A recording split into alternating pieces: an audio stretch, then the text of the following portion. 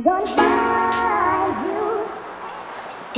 tout le monde Alors, euh, je voulais vous faire une vidéo sur comment paraître plus grande. Étant donné que je suis moi-même très petite et que j'ai galéré. Étant plus jeune, j'étais complexée, ça me plaisait pas, je voulais toujours paraître plus grande. J'ai appris à vivre avec euh, à peu près.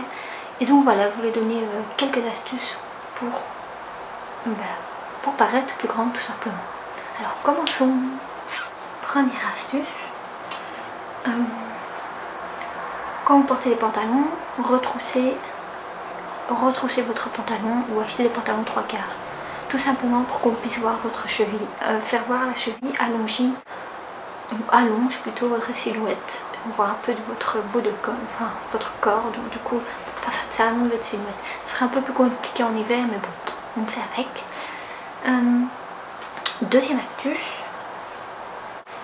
euh, porter de préférence tout ce qui a un décolleté. Donc ceci, enfin tout ce qui est décolleté comparé à ceci, vous voyez vous-même, cela allonge la silhouette, ce qui vous fera paraître plus grande aussi. Et pour allonger tout continuer, il est préférable d'attacher vos cheveux ou de vous faire un chinou, que le chinou prendra encore quoi, 5 cm en plus, ce qui vous fera paraître encore plus grande. Troisième astuce, euh, porter de préférence des vestes courtes et négliger les vestes longues jusqu'à vos genoux ou en dessous des genoux. Moi j'en porte des longues mais bon euh, j'ai appris à vivre avec et on s'en tape. Donc euh, de préférence si ça vous gêne vraiment, portez des vestes courtes ou juste en dessous des seins. quatrième astuce, porter des talons. Je vous conseille pas de porter des talons tous les jours de 12 cm si vous avez des midi talons, portez-en, vous avez des talons compensés, portez-en, cela vous fera grandir. Enfin les talons, c'est nos amis. Cinquième astuce.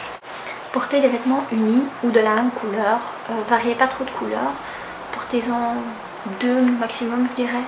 Au plus de couleurs vous porterez, au plus ça divisera votre corps en parties et ça n'allongera pas du tout votre silhouette et votre corps. Donc sortez unis.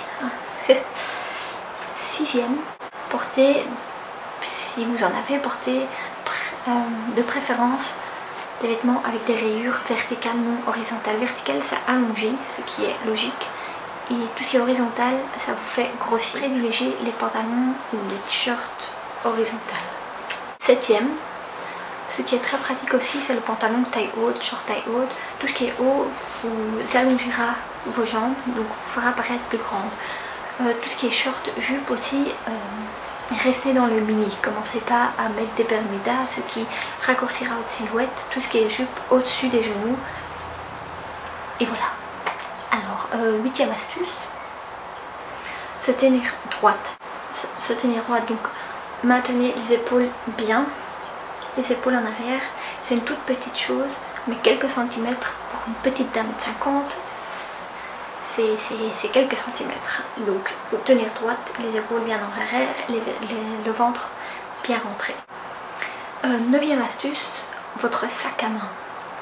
Ne commencez pas à vous promener avec des sacs à main énormes. Euh, prenez des sacs à main à votre taille, à votre morphologie. Ça ne sert à rien de se trimballer avec un sac à main qui fait trois fois vous. Euh, et la dixième, la plus importante, c'est votre confiance en vous ayez confiance en vous.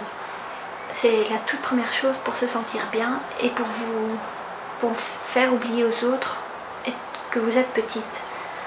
Donc, euh, ben oui, voilà. Confiance en vous, ayez confiance en ce que vous portez, ayez confiance en ce que vous êtes, surtout. Et voilà, ben, c'était mes petites astuces. J'espère qu'elles vous auront plu et que ça vous aidera euh, dorénavant. Et à la prochaine, j'espère. Tchou